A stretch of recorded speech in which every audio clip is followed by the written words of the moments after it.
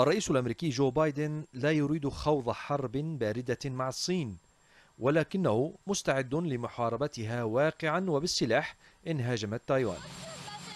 هي أول مرة تذكر فيها أمريكا صراحة أنها يمكن أن تقاتل الصين دفاعا عن تايوان ولكن متحدثا باسم البيت الأبيض أكد أن هذا الموقف ليس بجديد وإنما يأتي ضمن الاستراتيجية المتبعة منذ سنوات طويلة للدفاع عن تايوان.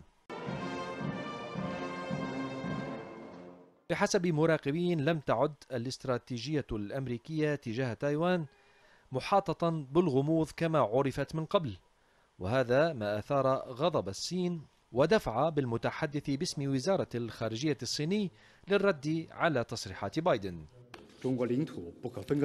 نحث الولايات المتحدة على الالتزام الفعال بمبدأ الصين الواحدة وبنود البيانات الثلاثة المشتركة بين البلدين كما نطالبها بالحذر في أقوالها وأفعالها بشأن قضية تايوان وعدم إرسال أي إشارات خاطئة إلى القوى الانفصالية هناك. ولا تزال الصين تصر على أن تايوان جزء منها وتعتبر قضية النزاع مع تايبيه أشد القضايا حساسية في علاقة بكين وواشنطن. تايوان جزء لا يتجزأ من أراضي الصين. إن قضية تايوان شأن داخلي محض للصين ولا يسمح بأي تدخل أجنبي. وعندما يتعلق الأمر بالقضايا المتعلقة بسيادة الصين لا يوجد مجال للتنازلات.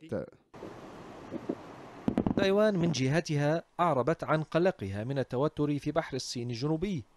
وقالت إن علاقاتها مع بكين تمر بأسوأ حالاتها منذ أكثر من أربعين عاما. وأضاف وزير الدفاع التايواني أن الصين ستكون قادرة على القيام بغزو شامل لها بحلول 2025